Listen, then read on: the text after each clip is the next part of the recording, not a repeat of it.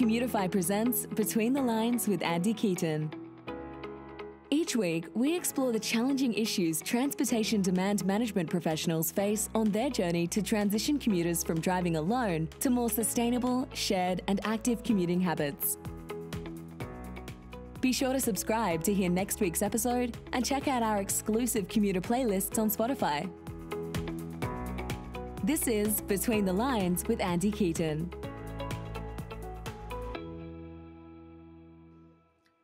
Hi, everyone, and welcome aboard to this week's Between the Lines podcast. Today, I'm joined by Jason Stanley. Jason is the head of insights at Local Logic, a company building tools to help make the cities of the future more livable, thriving, and sustainable.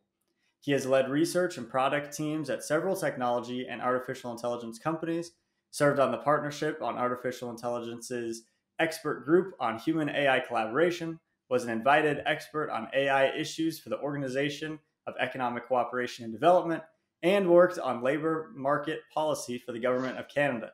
Jason holds a PhD in sociology from New York University and social science degrees from Oxford University and Williams College. So we're joined by uh, a certified genius potentially. Um, thanks for joining today, Jason. We're really excited to talk with you. Thanks very much, Andy. Uh, I don't know about that, but I'll try my best.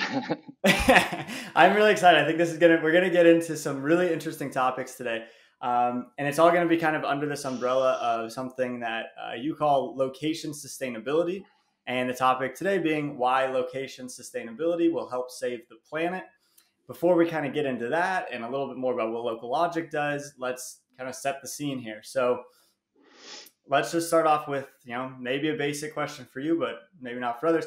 How do land use decisions impact transportation patterns? Yeah great. So our cities our regions are animated by people moving all over the place to get things done in their lives, right? We need to sleep somewhere, we need to eat somewhere, we need to get to work somewhere, we need to go to the grocery store to get our, our you know, the, the food that we're going to make for dinner. We need to bring our kids to school, we need to go to the park. All of these things that sort of make up our daily and weekly and monthly needs.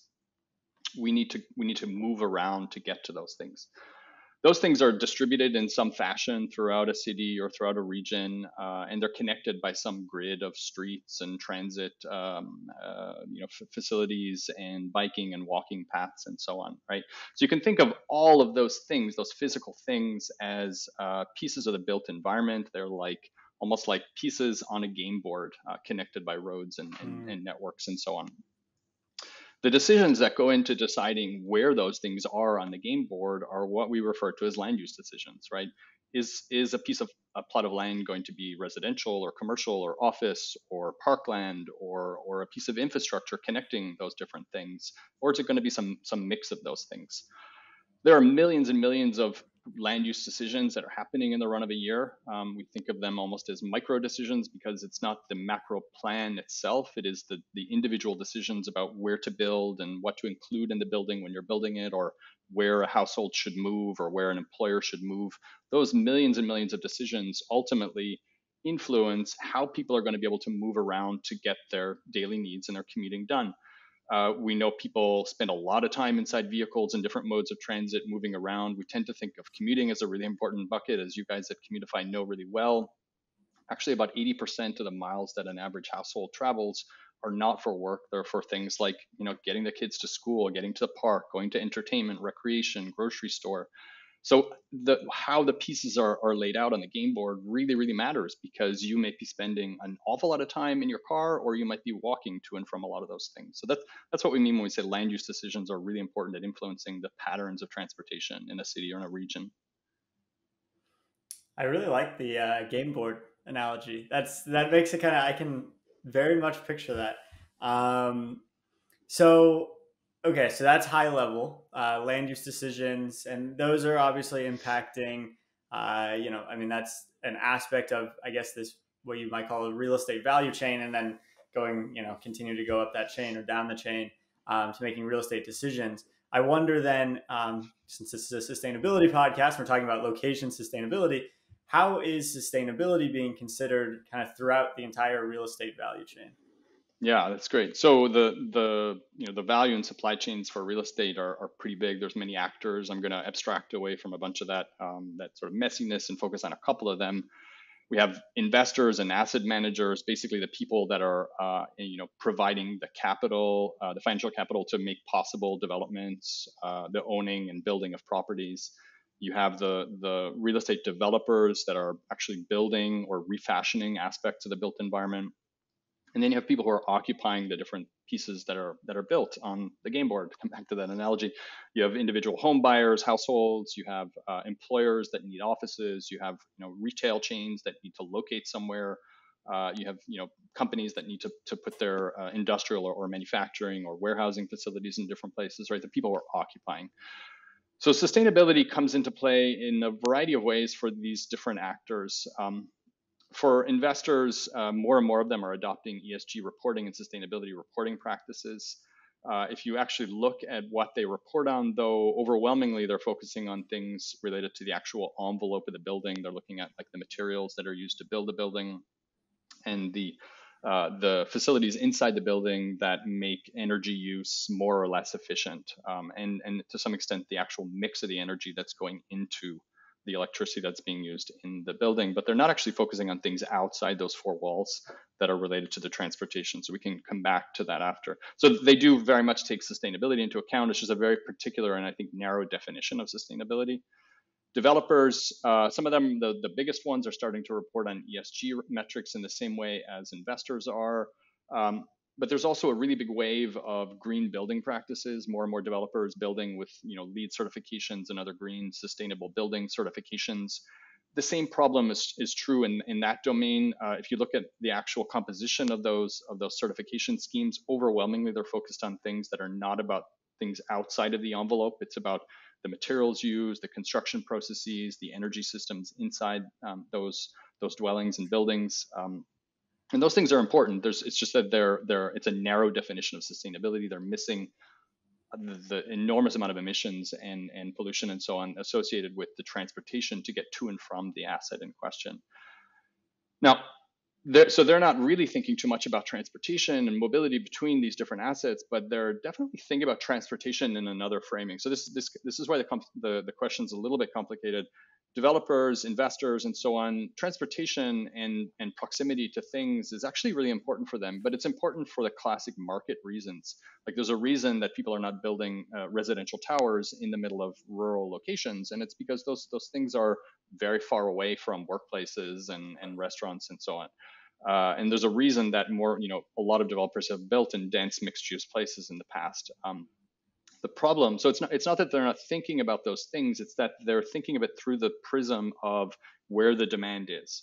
Uh, they're not thinking in terms of internalizing some of the externalities associated with how they build.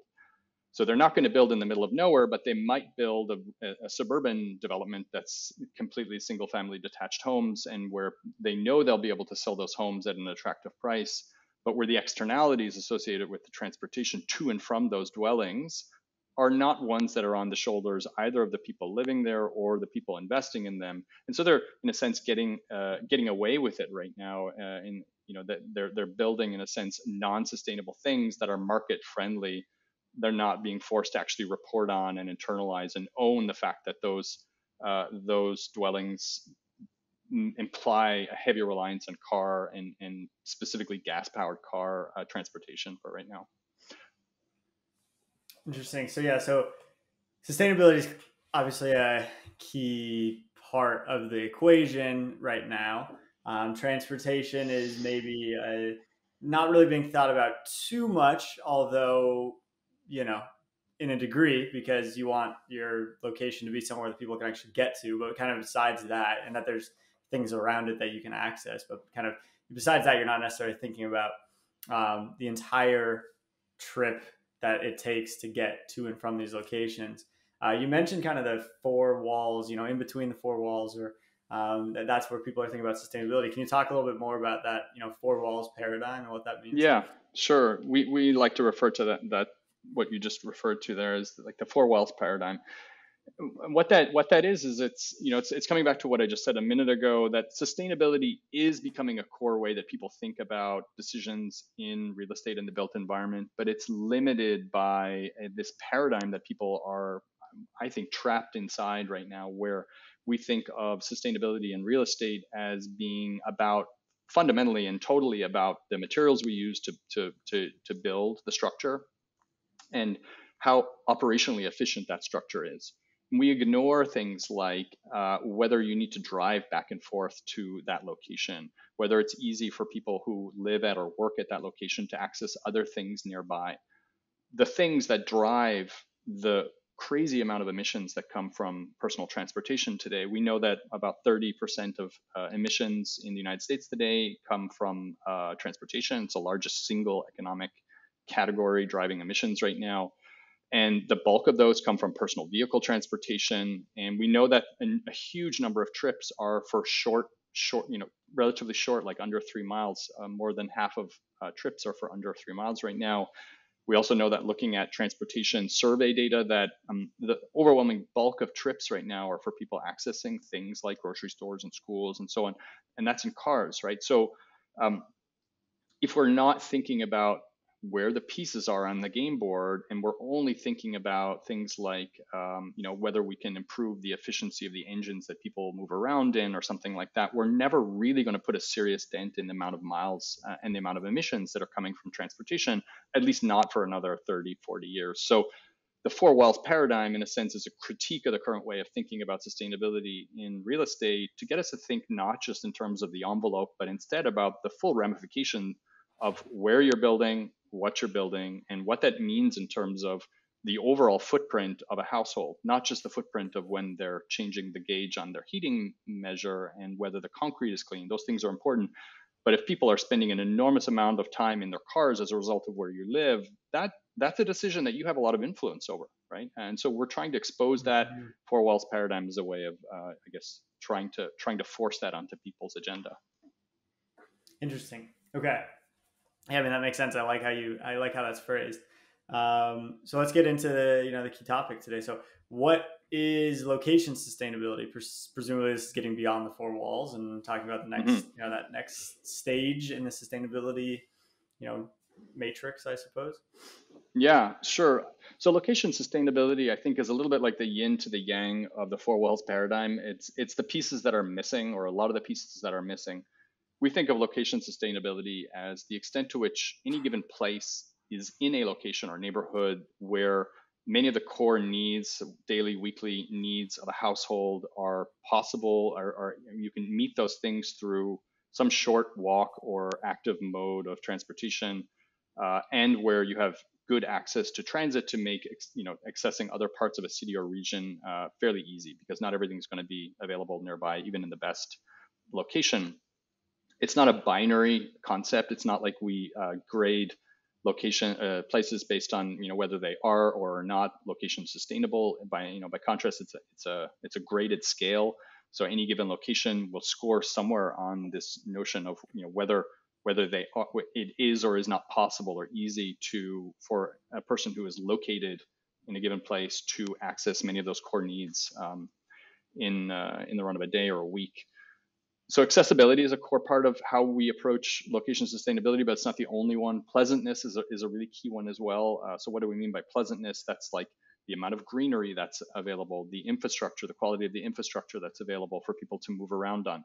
Why is that important? Because we know that the likelihood of someone using, you know, going for a walk to a store or using their bike to get to uh, a shop or work depends a lot on the quality of the experience and the safety of the experience of people using those modes of transit take the simple contrast between uh, someone walking, let's say, half a mile to get somewhere. If they do it along a tree lined, fairly quiet street, that's one thing. If they need to cross a six or eight lane highway to get there, it's very, very different thing. We know that the likelihood of someone walking is much higher in the former than in the latter. And so we take that into account when we're thinking about whether things are truly accessible in a way that makes likely active modes of transit uh, when we're, we're measuring places based on their location sustainability and so I mean, you started getting into this, but let's let's keep diving in. How does local logic play in this space? What what is it that you all do, um, and how do you you know think about location sustainability. Yeah, sure. Location. Uh, so Local Logic is a company that's digitizing the built environment. So we collect reams of data about uh, the the built environment in cities and regions, and we expose that data to people making real estate decisions. We build a lot of insights on top of that raw data, or you know, slightly transformed data, so that we're able to you know quantify things like uh, like pleasantness and quietness and walkability and accessibility to different services. And and moving towards basically an index for location sustainability we'll we'll be able to actually uh, you know bring together the various things I was just talking about like accessibility to core amenities and services and infrastructure coupled with pleasantness so that it rolls up into something like a location uh, sustainability and, or, and livability score and wellness score and so on so we're, we're basically we're collecting a lot of data about the built environment that people don't have easy access to. We're turning it into intelligence, so it's not just information, but intelligence that lies on top of that uh, that those that reams of data, and making it accessible through frameworks like location sustainability and wellness and uh, and livability to people throughout the the the, the, the real estate you know uh, value chain. So uh, you know home buyers, tenants, uh, real estate developers, brokers, and eventually for investors as well, who you know, and each of these audiences cares differently about these for different reasons about these things. For for uh, an investor that that cares a lot about ESG reporting, maybe they, they need to understand the, the you know the GHG uh, greenhouse gas emissions implications of owning or not owning a specific asset.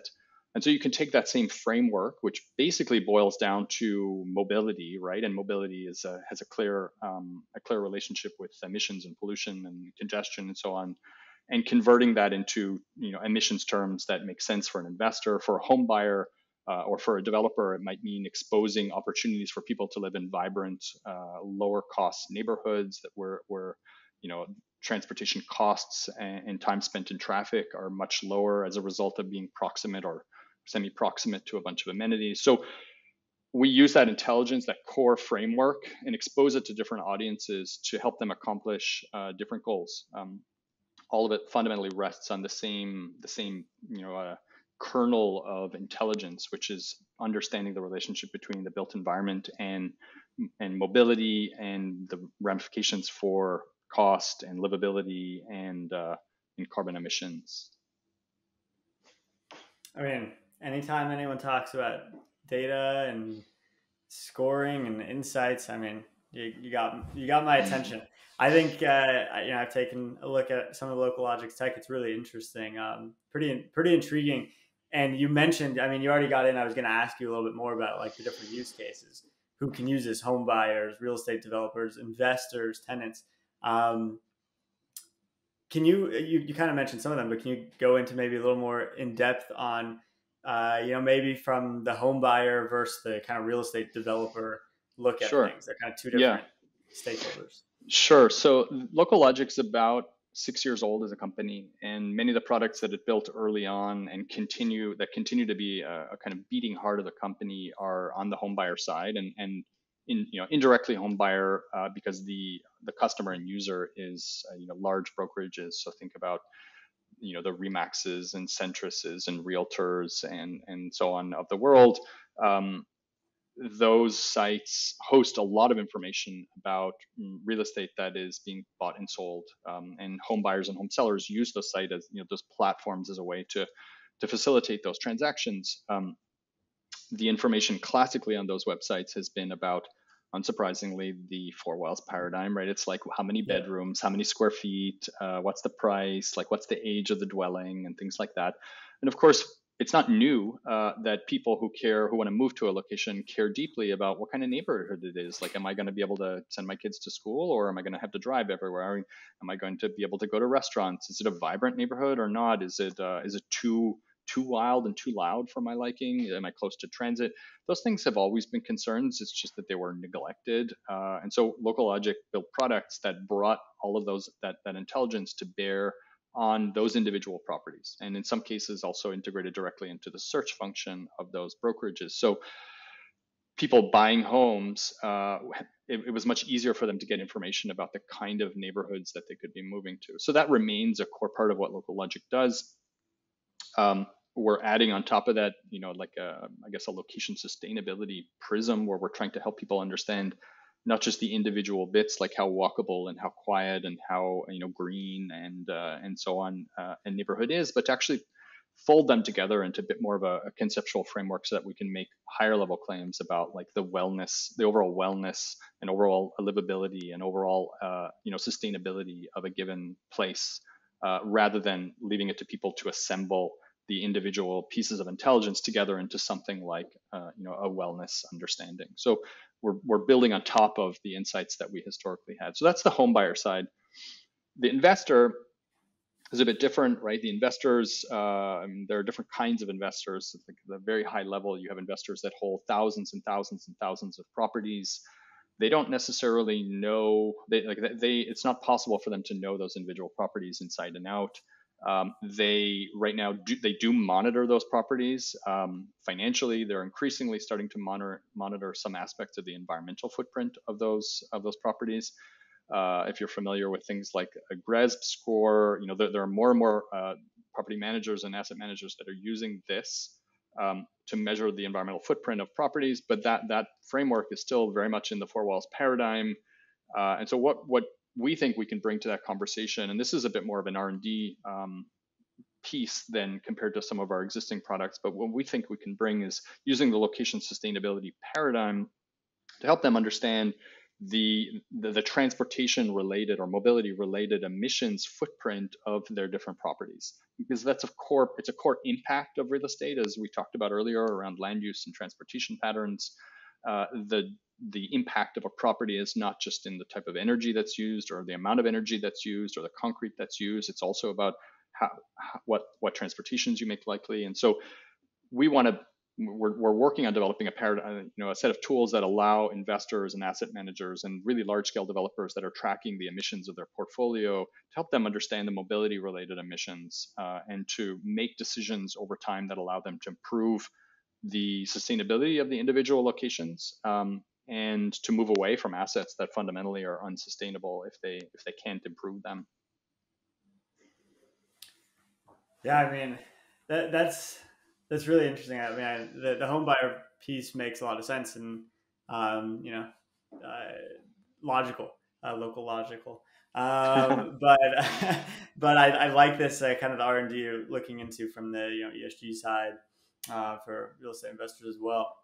So is this something that only is valuable in you know city centers where a lot of things exist around a location? Or where are you really seeing like you know maybe this technology or just the general idea of you know location and sustainability uh, being valuable? Yeah that's an excellent question. So the short answer is no, absolutely not. Uh, the framework of location sustainability is applicable no matter where um, land is being put to some human use. Um, it could be in urban areas, in suburban areas, in rural areas, um, and that's because the you know the, the implications of accessibility, proximity to different things matter no matter where you are. Because a column, you know, a mile traveled uh, in a vehicle is the same, you know, has has the same kind of environmental impact virtually regardless of where you are, right? And we and and that's in terms of emissions, it's in terms of time spent in the vehicle, it's in terms of the amount of money that you're spending on gas. So those things don't change fundamentally when you move from rural to urban. Now, of course, a suburban location, let's just pick uh, an extreme, like single family detached residential only community, right? The classic sort of suburb image that you see when you mm-hmm. you Google suburb. White compared, yeah. yeah, yeah, with nothing else around except you know large homes with big driveways and so on compared to, uh, let's say, a denser mixed use neighborhood. Uh, doesn't have to be fully downtown, but somewhere in a city where you have access to transit and some bike infrastructure. You know, not, not nothing perfect, but something that mm, is closer to the mixed use dense hub that you, that I described earlier. Clearly, the latter is going to score much better on the location sustainability uh, index than will the former.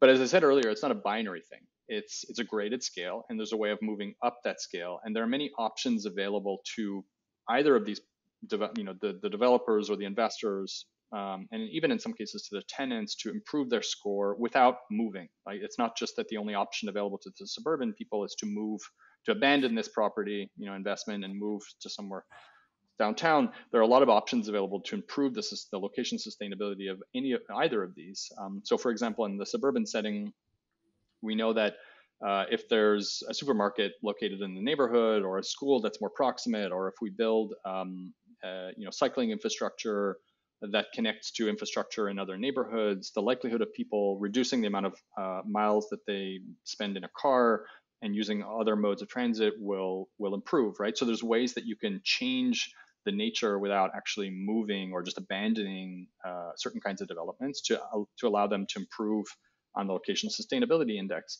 Now, obviously, if you were to add a transit station to uh, a neighborhood like that, it would it would have a major impact. That's not something a typical developer is going to have much control over. But the location sustainability framework is is in a sense actor agnostic, right? So it's cities can also use this to understand to map the the gaps and opportunities across a city from a location sustainability perspective to better identify where transit um, uh, deserts might exist or food deserts or you know school deserts and, and so on and so forth.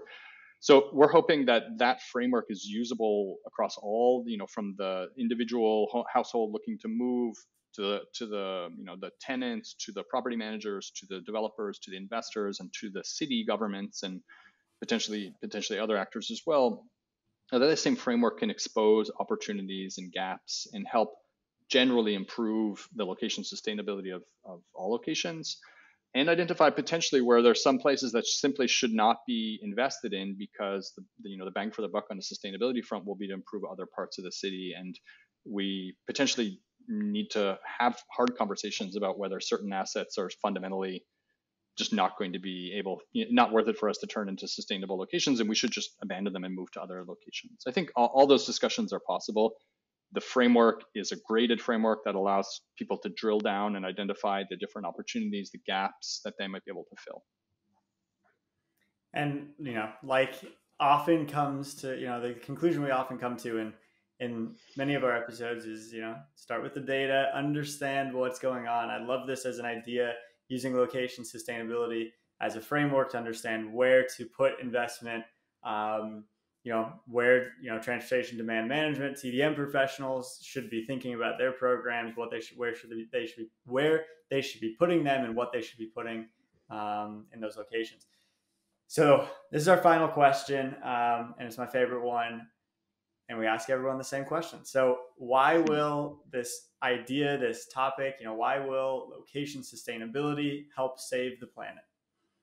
Yeah. So you know, as I mentioned earlier, about 30% of emissions right now in the US come from transportation. Uh, the bulk of those come from personal vehicle transportation, and about 80% of those of the miles traveled in cars are for just the daily, weekly needs that we need to fulfill. People are moving back and forth and relying overwhelmingly on cars right now. Uh, electrification of cars, we didn't talk about it, a big topic, but it's not going to be a short term solution, right? Fleet replacement rates, dynamics mean that it's going to be decades before we really get to the point where electric vehicles dominate.